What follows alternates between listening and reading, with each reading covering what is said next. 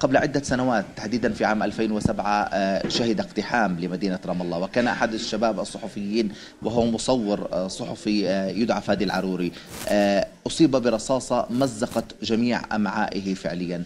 نتحدث هنا مع فادي حيث بعد سنوات طويلة هل وصلت نتائج التحقيق التي يعني شكلت أو لجان التحقيق التي شكلت إلى أي نتيجة؟ فادي مرحبا بك عبر شاشة الغد. أولا استشهاد شيرين وفتح تحقيق وأنت كنت تعرضت لإصابة قاتلة برصاص متفجر من النوع المتفجر المحرم دوليا أصبت بها عام 2007 ما الذي حصل فعليا عندما فتحت لجان التحقيق؟ هل وصلت إلى أي نتيجة؟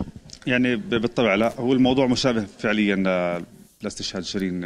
الموضوع كان مسجل بالفيديو. يعني حتى الجندي اللي أطلق الرصاص كان مسجل بالفيديو. بالنهاية الجيش الإسرائيلي وحكومة الاحتلال دائما عندها مبررات.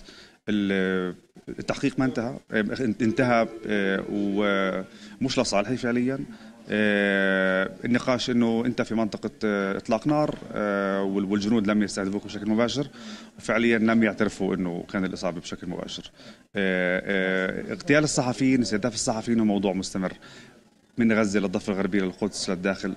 الموضوع هو فعليا مبرمج ومستهدف. الصحفي الفلسطيني هو مثله مثل أي مدني مثله مثل أي إنسان في فلسطين.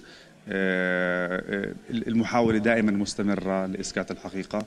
الصحفي الفلسطيني هو بالنسبة للاحتلال ولآلته هو خطر. من أول لحظة استشهدت فيها شيرين بلشت الأبواق الإعلامية الإسرائيلية وآلة الإعلام الإسرائيلية تحاول تبرر إنه مسلحين إنه الموضوع بده تحقيق. لكن إحنا عارفين دائما نتائج التحقيق من سنوات طويلة. أكثر من 2000 شخص استشهد في غزة في 2018 ولا لجنه تحقيق يعني عملت شيء. حتى الجند الإسرائيلي اللي قتل مواطن في الخليل وهو أعزل وهو مستلقي على الأرض خرج بعد شهرين وتكرم وتجوز وجمعوا له مصاري. أي لجنة تحقيق بيحكوا عليها.